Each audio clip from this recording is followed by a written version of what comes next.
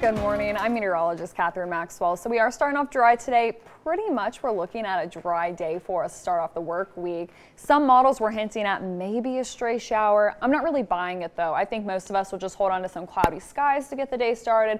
Clouds will continue to decrease though throughout the day, leading to actually some sunshine by this evening as some dry air continues to work in for us. Today temperatures will be pretty much near seasonable. Highs heading into the 50s. Really the only, I guess you could say, nuisance for today would be the winds will be a bit breezy at some times.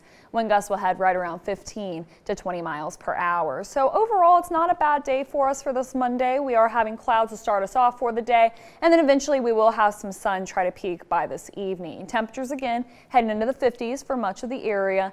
Tonight, partly cloudy skies will form and eventually some rain is going to work in. We could see a few showers before even the sun rises tomorrow morning. We'll primarily see scattered rain but it is possible as that precipitation moves in, mixes with that cooler air, that we could talk about some winter precipitation for our Tuesday. Now, it only is likely for mainly the highest elevations, so that would be western Greenbrier and northern and western Pocahontas counties. Some of it may trickle along that higher ridge line, but altogether, I think most of us will witness some rain and maybe even a heavy downpour or two throughout the first half of Tuesday. By Tuesday evening, drier conditions start to build in. We'll have a little bit of leftover moisture in the evening but most of us should be drying things out by dinner time tomorrow. So tomorrow temperatures pretty much are actually going to be pretty stagnant.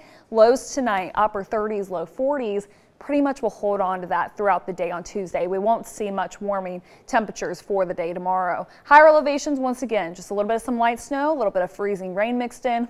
Most of us tomorrow will hold on to some scattered rain showers though.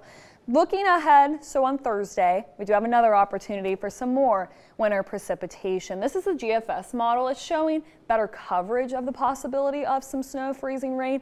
European model, though, showing most of it staying down to the south there. It's really not showing that snow heading into our area, and it really is all dependent on the position of this low pressure system here. So if we have that low pressure system a little bit closer to home, mainly looks to be a rain event. So we'll still see some moisture, but we're really not looking at any snow potential. Slightly down to the south, that's going to allow a little bit more cooler air to wrap in. That'll bring us the opportunity for that wintry mix. If it's pretty much off towards the east coast, we're really not looking at any of that moisture to reach our area. So right now, unfortunately, confidence is a little bit low. For Thursday, we really have to see how that low pressure system evolves. For now, we're still holding on to a 40% chance for a rain snow mix. But keep your eyes on Thursday. Tomorrow, we also have that opportunity for some wintry precipitation.